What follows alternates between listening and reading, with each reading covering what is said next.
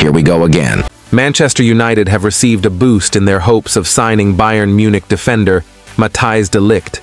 The Dutch defender is reportedly unhappy at Bayern after falling down the pecking order under Thomas Tuchel. According to reports, de Ligt is unhappy with his lack of playing time and could push to leave in the summer.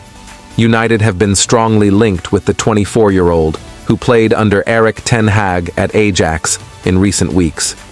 Meanwhile, Manchester United are reportedly interested in signing Brighton's Kaoru Mitoma. Fichajes report that the Red Devils are amongst the clubs monitoring the 26-year-old. However, they face competition from Manchester City and Chelsea, the report adds. On the other side, Frenkie de Jong could finally end up in the Premier League this summer. According to Spanish outlet Relevo, the Dutch midfielder is finally open to leaving Barcelona this summer. And the report adds, the Catalans won't stand in his way, as they are desperate to raise funds in wake of a financial crisis at the club. A move of around 100 million has been suggested, which could spark a bidding war among Europe's elite, including Manchester United. Elsewhere, Casemiro antics against Aston Villa had fans online claiming he was begging for a blue card. The Manchester United midfielder was animated as he protested against being shown a yellow card at Villa Park. Referee Robert Jones booked the Brazilian during United's 2-1 win for a foul on Villa defender Matty Cash. However, Casemiro was left perplexed by the decision, passionately protesting to the officials.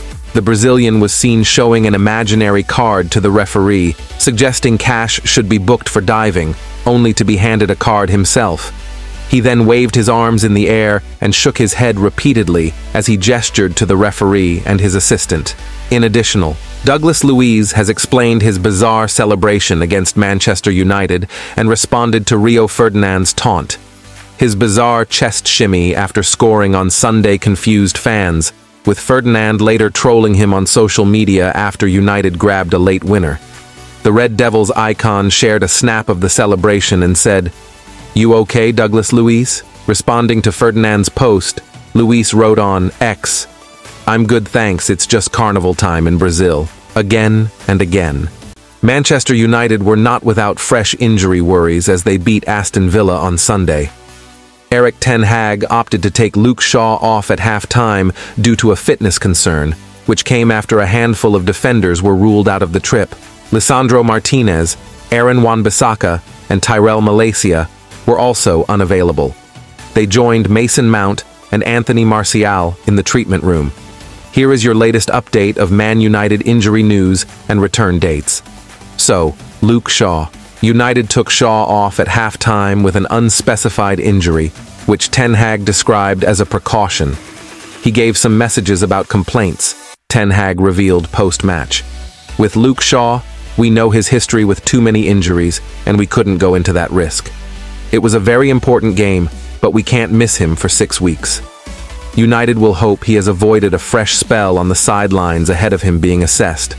His potential return date is Sunday, February 18th, United versus Luton.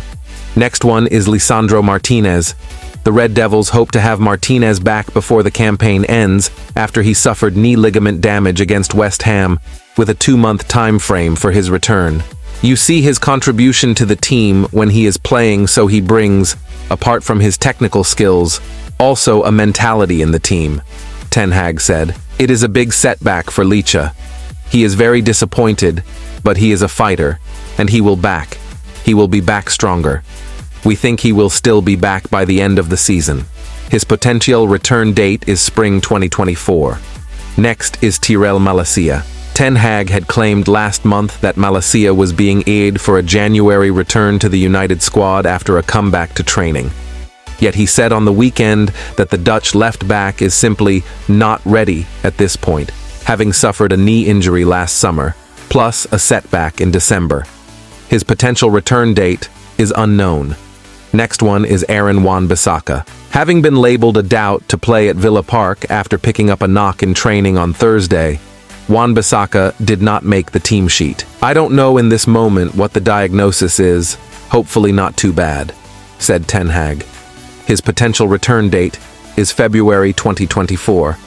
Anthony Martial. United fans may not have seen the last of Martial despite the French striker requiring surgery on a groin injury. A 10-week time frame was given following the procedure late last month, although he had fallen out of favor with his manager anyway ahead of his contract expiring in the summer. His potential return date is April 2024.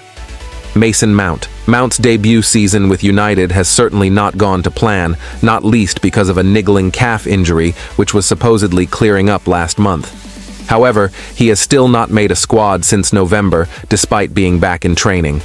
His potential return date is unknown, again and again. Man United legend Roy Keane has lavished praise on Rasmus Højlund.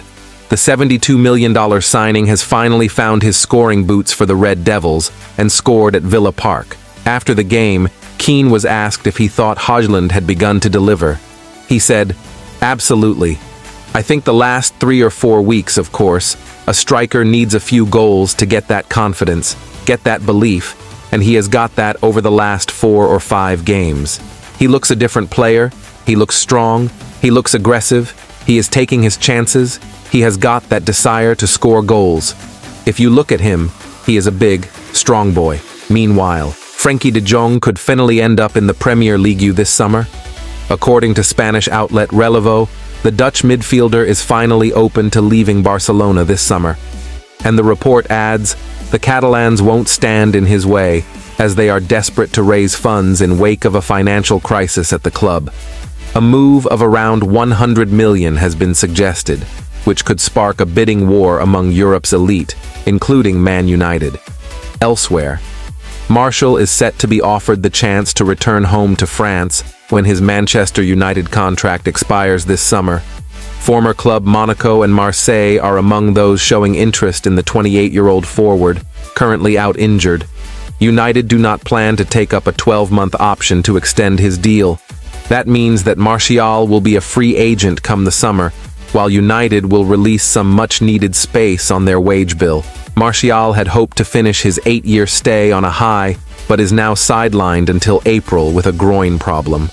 Marseille, Fenerbahce, and Saudi Arabian clubs all looked at a January move, but his injury ruled a transfer out. The France international joined United in a 44.5 million deal. In the last four injury-hit seasons, he has hit just 12 Prem goals in 93 appearances. That tally includes just one goal in 13 Premier League appearances during the current campaign. Across all competitions, Martial has notched just twice and provided a further two assists. United have already been linked with a potential replacement for the Frenchman. Ten Hag is reportedly eyeing a reunion with Ajax forward Brian Brobbey. Limitations brought about by financial fair play FFP rules prevented a January move for the Dutch striker, but the Red Devils could swoop in the summer Brobbey was handed his Ajax debut by Ten Hag in 2020 and has scored 17 goals so far this term.